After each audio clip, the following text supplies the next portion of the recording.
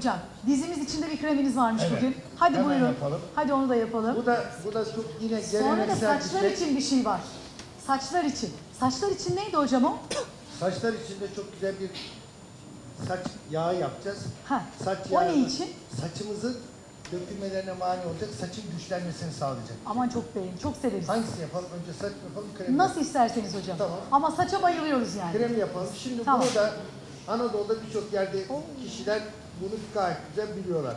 Azmi abi gösterecek onu biraz. Ha, ay şu yaralı Şimdi ayakları bu görünce fena oldu. gördüğünüz kardeşlerim Anadolu'da her yerde bulabileceğiniz söğüt. Ha. Söğüdü biz bunu biraz çimlendirdik bakın tohumla yani kökleştirdik. Bu şöyle bir tedavi yapar, yaparlarmış eskiden. Ağrıyan yerine getirilermiş bu söğüdü böyle böyle böyle böyle böyle böyle vururlarmış.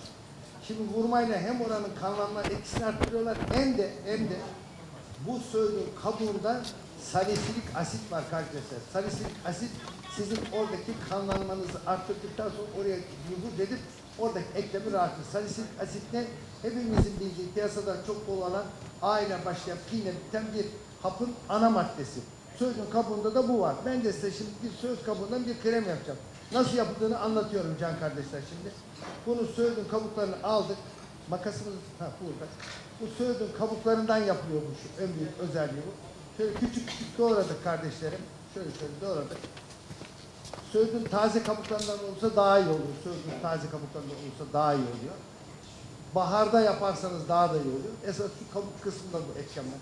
Bakın böyle biz yaptık ve kaynattık. Vakit kazanalım diye kaynattık. Kaç dakika kaynattık? 10 dakika kaynattık. 10 dakika demlendikten sonra bunu süzeceğiz. Şöyle bir kabuğumuzun içine alacağız. Şimdi size güzel bir aksiyonten krem yapıyoruz kardeşlerim. Şurada pastırmalarını kenara çekeyim. Kaynatmış suyunu süzeceğim.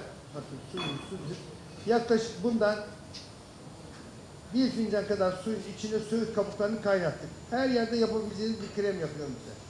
Daha sonra sevgili kardeşlerim bu sudan bir çorba kaşığı kadar aldık. Ne suyu? Söğüdün kabuğunun suyu bu. Daha sonra bunun içine vazelin koyacağız. İki çorba kaşığı kadar vazelini benmari usulü sıcak suda erittikten sonra bu suyun içine koyuyoruz kardeşlerim. Biz biraz acele ettik. Bunu güzelce suyla beraber vazelinin içine yediriyoruz. Bu arada da olmazsa olmazımız kafur var kardeşler. Kafur da doğal bir bitkinin den elde edilmiş. Kafur da ağrılarda bütün kremlerin içinde geçiyor. Bakın kafur da şöyle eziyoruz. Ezdik.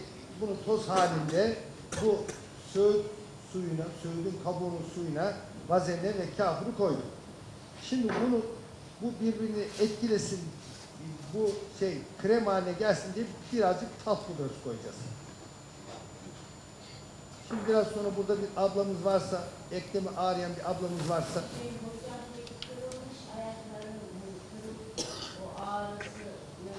kesinlikle alır. Sebebini anlatacağım, nasıl olduğunu anlatacağım. Bunun özelliği burada kanlanmayı arttırıyor. Ve içindeki etken madde cilt yoluyla içeriye giriyor. Buna faydası oluyor. Şimdi ben size güzelce karıştırdım. Bir ağrısı olan dizinde ya da elinde ağrısı olan birisi var mı? Hemen bak sürelim hemen etkisini rahatlamayı göreceksiniz. Birisi varsa el bileğine el bileğine süreceğiniz birisi var mı? Hemen sürelim el bileğinize. Karpal tünel sendromu denilen şeyler varsa bakın ne yaptık? Gördüğünüz gibi bakın bu söğüdün kabuğunu aldık. Söğüdün kabuğunu aldık. Kaynattık. Abla şöyle buyurun oturun. Kabuğunu kaynattık, aldık. Kaç dakika kaynattık? 10 dakika kaynattık. 10 dakika sonra bunun suyundan yaklaşık bir çorba kaşığı kadar aldık. Bakın şu suyu bir çorba kaşığı kadar aldık. Ondan sonra bunun içine bunun içine ne koyduk? Bunun içine kafur koyduk. Bunun içine ne koyduk? Vazelin koyduk ve pudrayla iyice krem haline getirdik. Gördünüz mü? Şimdi ablamızın ağrıyan neresi ağrıyor abla? Şu anda var mı ağrı? Hiç dizinde be, dizinde el bileğinde ağrı olan birisi yok mu? Peki, tamam.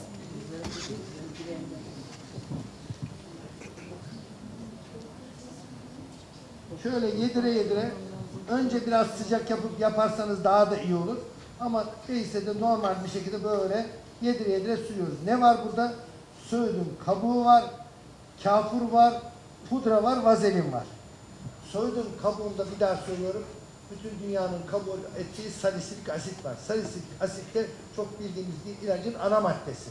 Dolayısıyla bu soydun kabuğundaki ağrı kesici özelliği ve burayı rahatlatıcı özelliği ölüyor. Böyle böyle buraya bir masaj yaptığınızda Evet. göreceksiniz. Bir kokla abla kokusunu. Ha, mentol kokuyor. Hah, bravo. Mentol kokuyor. Mentol kokuyor. Mentol neden kokuyor? Kafurun mu? Kokuyor. Burada karpal tünel dediğimiz sendromda sürülebilir el bileğinize. Dirseklerde, omuzlarda, boyunda, belde, fıtığa bağlı sıkıntılarda hepsinin hepsini bak. Bakın hemen emdi görüyor musunuz? Bakın böyle güzelce görüyorsunuz. Dairesel hareketler şey yaptı. Bakın ne oldu? Hemen hemen kayboldu. Hepsini emdi. Evet. İşte cilt yoluyla, gözenekler yoluyla içeriye nüfuz etti. Ne nüfuz etti? Söğüdün kabuğundaki salisylik asit içeriye girdi. İşte gördün mü? Şimdi abla el bileğin bir daha bir hareket etti. Bir ferahlama hissettin Ferahlama, mi? rahatlama var tabii ki. Ha bu kadar çabuk etki gösterin, bu kadar çabuk etki gösterin. Ama bunu sıcak olarak yaparsanız daha da güzel. Önce buraya mesela biraz sıcak yapsaydık. Daha sonra bu kremi sürseydik daha güzel etki yapar. Ama kremi sürdükten sonra tekrar bunun üstüne sıcak yapın. Mükemmel bir rahatlamayı göreceksiniz. Bel fıtıklarında olabilir. Bravo. Elif kardeşime katılıyorum. Esas fibromiyaljilerin nedir fibromiyalcinin ana problemi? Fibromiyalcinin ana problemi ne? Oraya kan gelmesi. Buraya sürdükçe kan gelen yere Can gelir. diyor. Peki gel ablam yanıma. Gel. Hadi